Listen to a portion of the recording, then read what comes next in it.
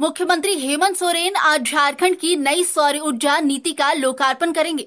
झारखंड सरकार की इकाई झारखंड रिन्यूएबल एनर्जी डेवलपमेंट सौर ऊर्जा के क्षेत्र में लगातार काम कर रही है।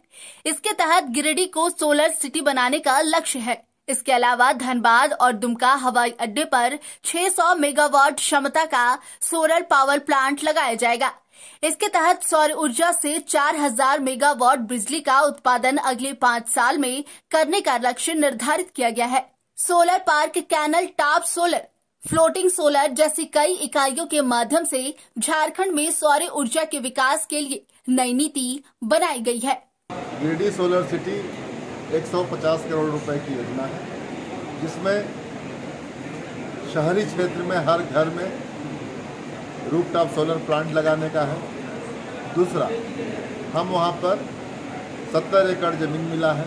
वहाँ पर हम रेस्को मोड में, जैसे आप आइए, हमारे नीतियों के अंतर्गत सोलर प्लांट लगाइए, अपना बिजली का दर झारखंड विद्युत नियामक आयोग से तय कराइए, और जो हाउस ओनर आपका बिजली लेना चाहते हैं तो आप उनको बिजली भी दे सकते हैं। वो खुद भी सूरज की रोशनी से बिजली पैदा करेंगे प्लस आप भी अपना प्लांट से रोज़गार पैदा करते हुए और भी विकास का अगला रास्ता स्टोरेज वगैरह जो आने वाले दिन में टेक्निक आने वाली है। न्यूज़ विंग के लिए रांची से मनीष झा की रिपोर्ट